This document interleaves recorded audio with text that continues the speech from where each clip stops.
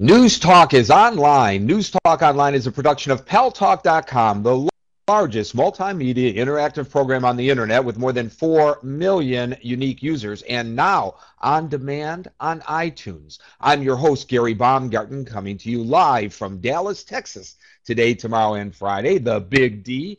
Well, today, the President of the United States held a news conference, and at that news conference, he said, that if Iran goes nuclear, it's leading us, Iran is, to World War III.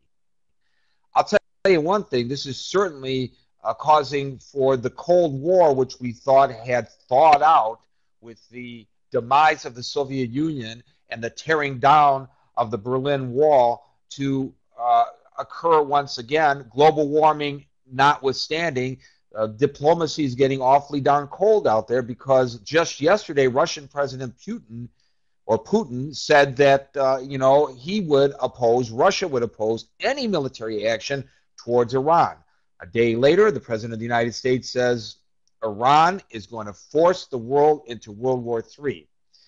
I'm wondering, is the president being forthright about his assessment of the situation, or is this just the kind of rhetoric that we saw prior to the invasion of Iraq? And is this deja vu, as Yogi Berra would suggest, all over again? I know that many of you have a lot to say about this issue. I know that uh, some of you would agree with the president, and some of you would disagree with the president. And today we're going to open it up without a guest to allow you to be the guests on News Talk Online on paltalk.com to give your opinion on this uh, very volatile issue just reading the text in the room here on paltalk.com prior to the show, I noticed comments like David R540, who wrote, God bless President Bush uh, for doing the right thing. And then I see Tom Mush.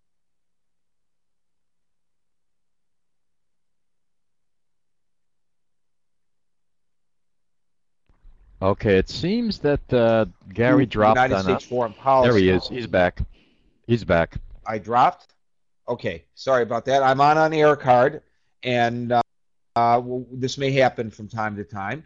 Uh, but what I was going to suggest is that I I believe that uh, this particular issue uh, will cause for there to be uh, people divided, polarized on one side of the issue to the other. I don't think that this particular issue is going to create much ambiguity in the minds of people. I may be wrong if uh, you if you're um, not uh, clear on where you stand on this issue. I'd like to hear from you as well. If you agree with the president, I'd like to hear from you, and if you disagree with the president, I would like to hear from you. I got to tell you that to me, it sounds suspiciously similar to the kind of rhetoric, rhetoric that we heard before the invasion of Iraq, and look at the mess that we're in with Iraq right now. Um, now, do I believe that? Uh, Iran does have nuclear weapons aspirations? Absolutely. But I'm wondering if public pronouncements such as this are a good thing, or should we be back channeling and attempting to pressure Iran uh, to back down uh, by another means and tell them privately that if they keep it up, uh, ultimately the military option has not been removed from the table. But why is it so necessary to put this out in the public view? To cause for there to be such a polarization between nations? Or am I a bit naive in my outlook about this? Like to know what you think about that. Let's get right to the calls. Our first caller is Sunny, who's joining us from Germany. Welcome to the show, Sunny. Thank you very much, Gary.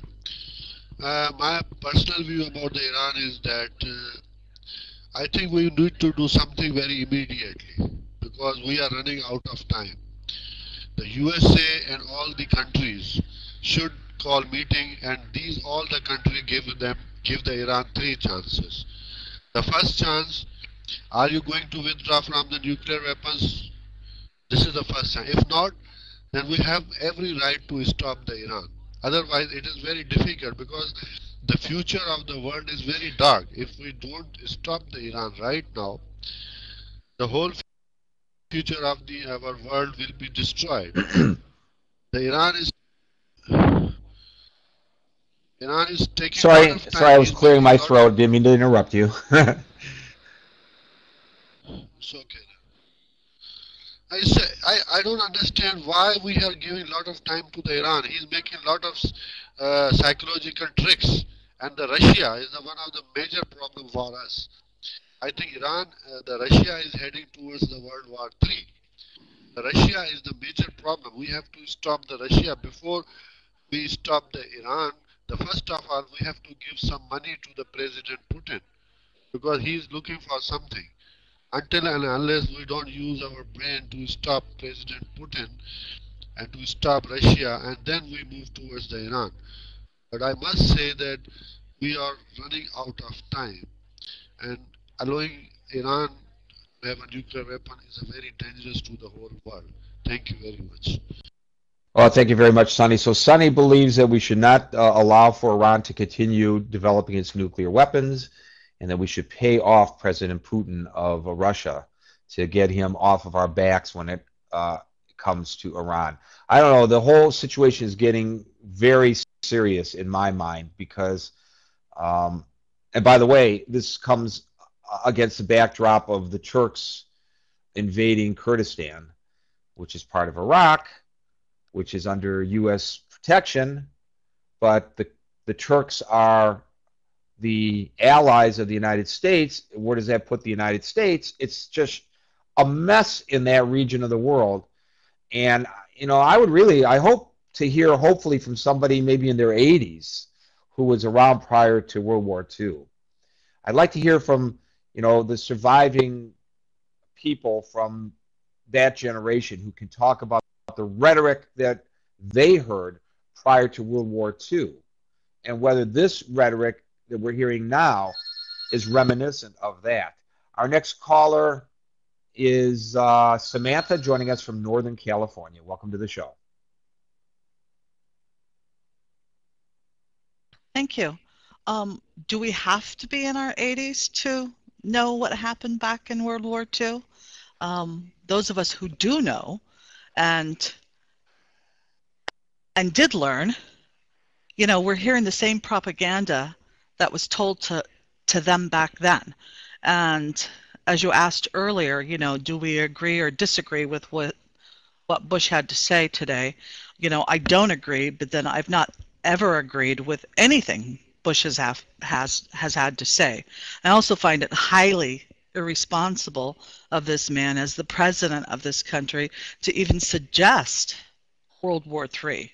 Why not preface ongoing diplomacy and for once get away with his continual fear tactics and suggesting to resolve this, there has to be a war. Thank you.